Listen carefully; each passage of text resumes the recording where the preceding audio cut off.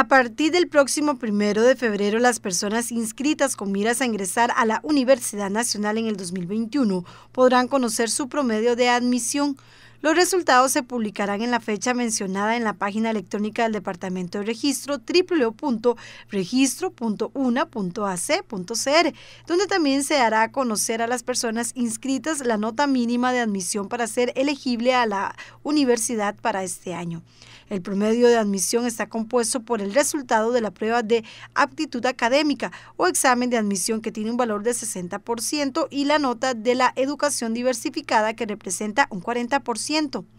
Además, la UNA aplica un procedimiento estadístico de estratificación y tipificación como parte de su proceso de admisión, el cual favorece el acceso de jóvenes provenientes de sectores en vulnerabilidad social a la educación superior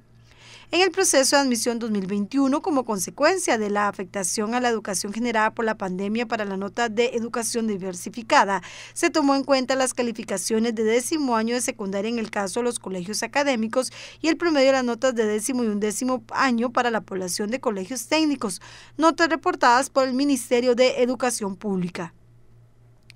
Luego de consultar su promedio de admisión, la persona postulante deberá cumplir con dos requisitos indispensables para continuar en el proceso y concursar por un cupo para ingresar a la carrera de su elección, tener un promedio de admisión igual o superior a la nota mínima fijada por la UNA y registrar el título de bachiller en educación media en la página del registro del 6 de febrero al 8 de febrero, de 8 de la mañana y hasta las 5 de la tarde.